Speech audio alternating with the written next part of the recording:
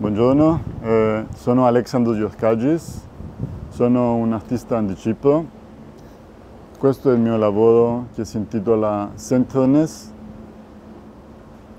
Un, eh, rappresenta un messaggio e un ricordo di tornare al proprio centro. È ispirato da una, una ricerca più grande di un altro lavoro che si intitola Vibrational Eco Trip dove presenta in diversi livelli di consapevolezza, dall'unità verso il più alto e la divisione verso più basso, verso le espressioni basse. Quindi questo lavoro è una semplificazione di quella ricerca, di quel messaggio e di quel ricordo di tornare al proprio centro. È un grande piacere essere qui. Eh, il tema del padiglione Nemo Profeta in Patria. Eh,